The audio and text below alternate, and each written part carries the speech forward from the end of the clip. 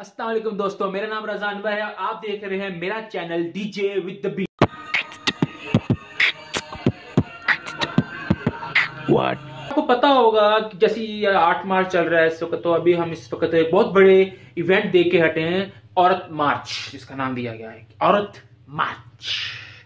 और इसके अंदर क्या हो रहा है कि कुछ औरतें जो हैं हमारे मुआशरे की, वो अपनी आज़ादी की खातिर, अपने हक की खातिर लड़ रही है और बाहर निकल के कह रही हैं कि हमें हमारा हक लेने के मामले में आपको कोई कुछ नहीं कहता। अपना हक लो, तुम्हारा हक है। हाँ तुम्हारा हक है।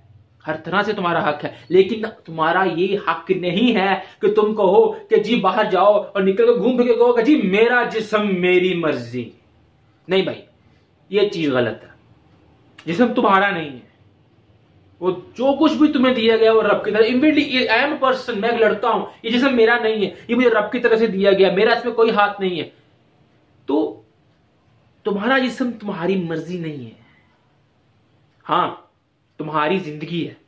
वो तुम्हारी मर्ज़ी है। तुम्हारे हकूक तुम्हें मिलने चाहिए, वो तुम्हारा हक है, वो तुम्हारी मर्ज़ी है। तुम चाहे किसी को हक, किसे हक लो या ना लो, वो तुम्हारी मर्ज़ी है। तुम चाहे कोई काम करो घर का या ना करो, तुम्हें इस्लाम ने पूरे, पूरी तरह से आज़ादी दी हुई है। लेकिन एक चीज़ हमेशा याद रखना, शोहर, वो शौहर, वो बंदा, वो शख्स जो तुम्हारी ज़िंदगी के ऊपर असरअंदाज रखता है, या वो आदमी जिसके साथ तुम्हारी ज़िंदगी मुंसलक है, जो जुड़ी हुई है, उसके ऊपर तुम्हारा पूरा पूरा हक है। वो चाहे जो तुम्हारे साथ करे। वो तुम्हारा शोहर है हाँ उसको ये हक नहीं, तुम्हें मारे। तुम्हें हाथ उठा सकता वो, तुम्हारे ज़ोर ज़बरदस्ती नहीं कर सकता वो। अरे, इस्लाम ने तुम्हें हर तरह के हकूक दिए हुए हैं। एच एंड एवरी तुम्हें मिला हुआ है। लेकिन ये मुझे बताओ, ये क्या तरीकाकार हुआ कि मेरा जिसम मेरी मर्ज़ी, इसकी मुझे समझ नहीं लगी बिल्कुल भी। अब ये देखिए कुछ, कहीं में कुछ इवेंट्स थे, मैं वहाँ गया हूँ GC university GC women university Faisalabad जो कोहिनूर वाली साइड पे है वहाँ पे एक बहुत ही ज़बरदस्त किस्म का इवेंट किया गया था ओनली फॉर वुमेन सिर्फ़ औरतों के लिए किया गया था।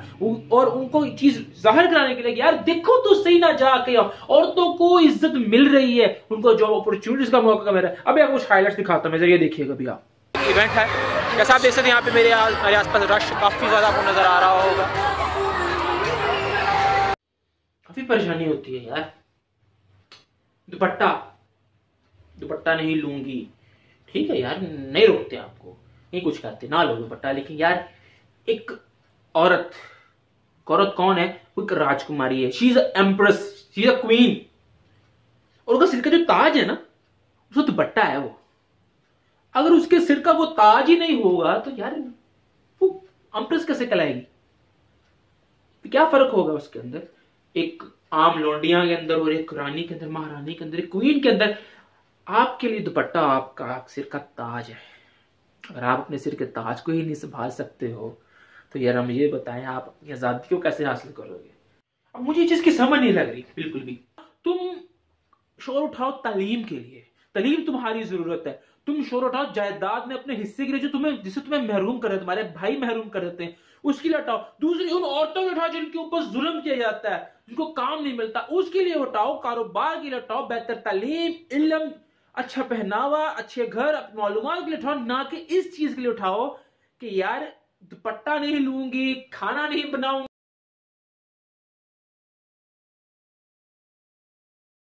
मैं कहता हूँ माशाल्लाह हमारी बहनें निकली हैं, माए निकली हैं बाप पर्दा होके निकली हैं, एहतजाज करने अपने हकूक के लिए। मैंने वो वीडियो भी देखी हुई है। लेकिन मैंने आप भी जाए नेट पे, आपको सर्च करें, आपको भी मिल जाएगी। लेकिन यार, दूसरी जो वीडियोस देख के मैं थोड़ा हैरान हुआ परेशान हुआ यार देखिए, आप किस तरह से एक बंदे की लाइफ को इन्फ्लुएंस करते हो कि अब आपके ऊपर आप कौन हो? आप वो जो आने वाला नया फ्यूचर बनाती हैं। आप वो जो नए फ्यूचर को संवारती हैं, सजाती हैं, उनको समझाती हैं, सिखाती हैं।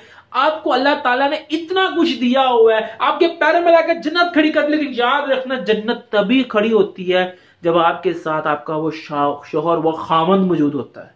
उसकी वजह से आपकी पैरों में जन्नत आती है। हम चाहे जैसे भी भाड़ में जाए, यार, हम जो भी है, ठीक हो गए, यार, हम गलीज हम कुत्ते हैं, हम जानवर है, यार, क्या कर लोगे? लेकिन प्लीज़ हम अपने आप को चेंज कर सकते हैं। हम करेंगे। मैं भी औरतों के साथ खड़ा हूँ, वो औरतें जो अपना हक अच्छा मांग रही हैं, लेकिन वो नहीं, जो ये कह रही कि हाँ भी मेरा जिसम है और मेरी मर्ज़ी है, ठीक है जी कर लो, जिसम तुम्हारा मर्ज़ी, कोई फिर किसी को तुम्हारे से कोई फ़र्क नहीं पड़ता but do whatever you want to do just go enjoy your life और ये काम प्लीज़ बाहर जाके यहाँ नहीं। प्लीज़ रिक्वेस्ट है एहतजाज करने से नहीं रोकते लेकिन प्लीज़ एहतजाज इस तरह करना चाहिए कि जो पता लगे कि यू आर अ मुस्लिम या you are a Muslim don't forget that please आपसे रिक्वेस्ट है प्लीज़ सब्सक्राइब करें अपना कमेंट दें इस चीज़ के बारे में कि आप क्या सोचते हो कि ये, ये क्या तरीकाकार है ये ऐसा होना चाहिए कि नहीं आपके क्या व्यूज़ हैं इस चीज़ के बारे में प्लीज़ पॉजिटिव यह है क्योंकि एक औरत औरत है, उसकी इज़्ज़त करना हर मर्द का एक फ़र्ज़ है।